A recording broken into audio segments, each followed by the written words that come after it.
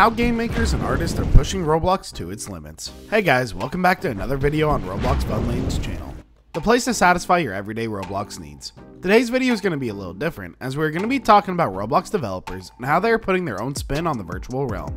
So sit back, relax, and watch the video right until the end.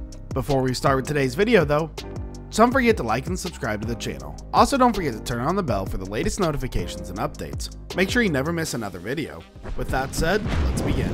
Like so many Roblox players, digital artist Everest Pipkin has their own abandoned birthday world right here on Roblox. Last year when the pandemic made in-person gatherings impossible, Pipkin downloaded Roblox Studio, the platform game creation software, to construct a digital space to host their own party. It's still publicly accessible, a giant mountainous landscape packed full of hangout spots and befitting the celebratory occasion, a balloon dispenser, friends rolled through virtually over the course of six hours, an event Pipkin describes as goofy, strange, and above all, lovely. In fact, Pipkin was so taken with the platform that they decided to use it to build a new project entirely within it.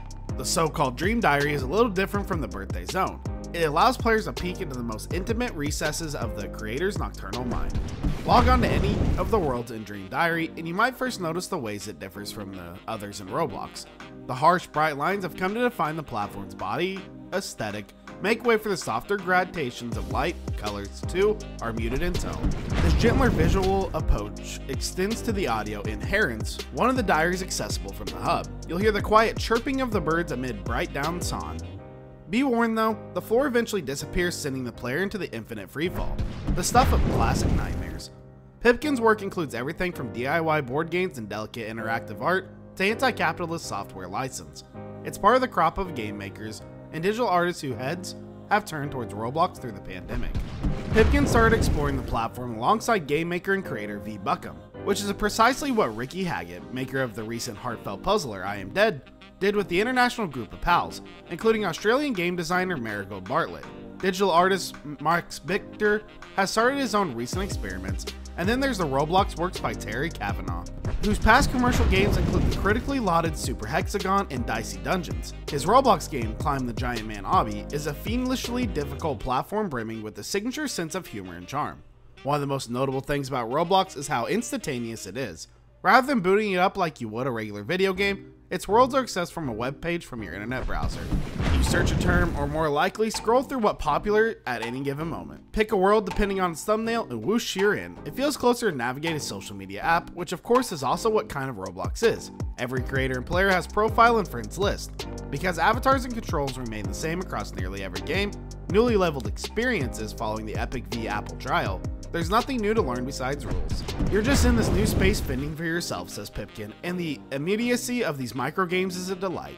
Immediacy extends to Roblox Studio itself, which is like a refined version of the 3D games engine Unreal and Unity. However, there are two big differences, according to Pipkin.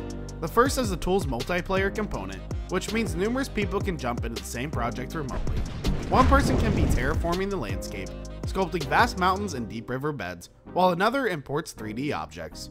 A third could actually be scripting events. It is, says Pipkin, remarkable, possibly more fun than actually playing Roblox games. The second is the Toolbox, an online repository of 3D objects reminiscent of asset stores that exist for other game engines. However, the models, meshes, and skyboxes available to download are often half finished or long out of date and likely given strange, random names by under 16s who primarily create and upload for them. For Pipkin, this chaotic nature is all part of the charm. Having been updated incrementally over the years, Roblox Studio has become a robust piece of software in its own right, stacked with enough features for Pipkin to render these whimsical nighttime visions. There's explicitly poetic, a tonal far cry from Cavanagh's climb for the Giant Man obby, which leans into the silliness found on much of the platform. Pipkin's It's Time is about conversing with a hand-drawn mythological creature in a garden overgrown with pink cherry blossoms. It turns out that you have this creature in a relationship and that your partner doesn't have much longer to live. The game involves spending a final few minutes together. Pipkin explains that achieving the pencil aesthetic wasn't all that difficult. Illustrations can be imported straightforwardly enough, but creating a dialogue tree to fit the aesthetic was more challenging. The dialogue UI Roblox comes with is locked so the artists had to hardcode their own. Pipkin describes this as one of Roblox Studios' weird edges. What's lovely about its time, as well as the rest of the Dream Diary, is how it makes no demands for you, unlike the platform more generally, which is sustained by microtransactions. It's certainly not unique in this respect. One can look to many other uncommercialized worlds, such as the similarly beautiful Toyoka Inari Shrine. Maybe it's a scope, perhaps it's Pipkin's own ideological convictions, but the sensibility feels central to Dream Diary. You explore Dream Diary's connected, haiku like worlds for a few minutes, an industrial labyrinth and humid forest, a grand spherical palace before moving on with your day. Breezy Bay. The upcoming Breezy Bay sits at what can be considered the opposite end of the creative spectrum. Its developer Tailwind, one of the growing number of professional Roblox studios, describes the game as Animal Crossing meets RuneScape for the TikTok generation, which sounds exactly like what a meta tag written by someone in the pursuit of the platform's next big hit. In reality, this means it's a social sandbox RPG centered on gathering resources and decorating an island. So far, so Animal Crossing. With a plethora of in-app purchases, however, the UK-based Tailwind, backed by £800,000 in venture capital money, has a few tricks up its sleeve, which co-founder Mike Allender says could help Breezy Bay stand out in not just the Roblox, but the wider world of video games when it's released this summer. Each island has an elemental deity, earth, water, fire, etc., and depends on your behavior. You'll either please or anger them. As this happens, the island transforms topographically. Some will end up as the Mordor-like Archipelagus is filled with lava and smithenaries.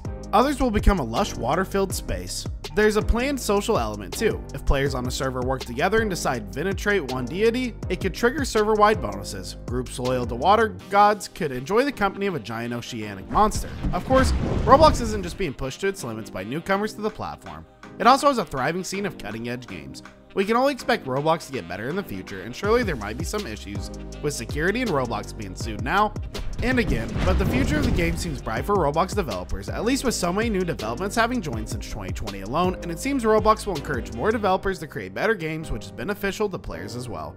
With that, we wrap up our video. Hope you enjoyed the video. Thanks for watching, we'll see you in the next one.